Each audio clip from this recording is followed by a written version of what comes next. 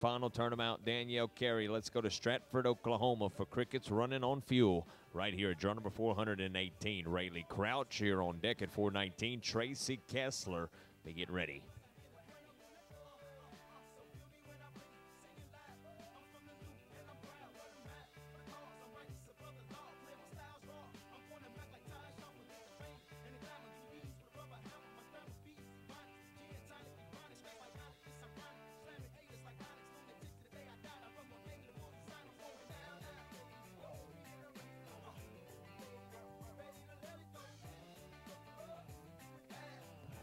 And to a 17 171, going to be 17 171 on the run. That takes us down to Skid Row Truck right here. Skid Row Tuck, that is. Let's go now to El Reno, Oklahoma. Rayleigh Crouch is